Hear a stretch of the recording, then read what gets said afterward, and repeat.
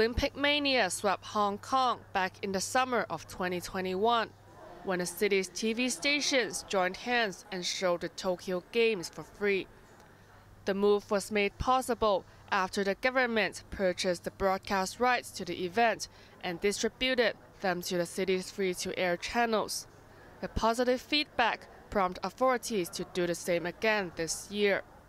Chief Executive John Lee announced that the public will be able to watch the Paris Olympics on TVB, ViuTV, HOY TV, and RTHK this July, as well as the Paralympics the following month. He did not reveal how much it would cost taxpayers, citing confidentiality agreements with the International Olympic Committee. But the leader described it as a worthy investment, seeing how the Tokyo Games united the city three years ago as people cheered on Hong Kong athletes. He also conceded that while the Paris contract cost less than Tokyo, it was still too big an investment for commercial broadcasters. Hong Kong Sports Institute Chief Executive Tony Choi welcomed the news.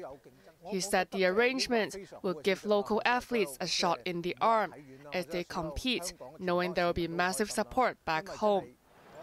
Having multiple broadcasters carry the event also allows the audience to tune into different competitions at the same time, he added.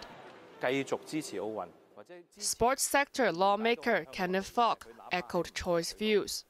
Also vice president of the Sports Federation and Olympic Committee of Hong Kong, Fok revealed he had been pushing for authorities to snap up the broadcast rights using taxpayers' money.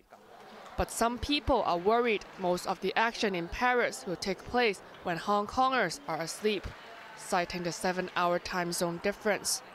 Lee said sports fans will find their ways to catch the action, while broadcasters are required to show replays during daytime hours.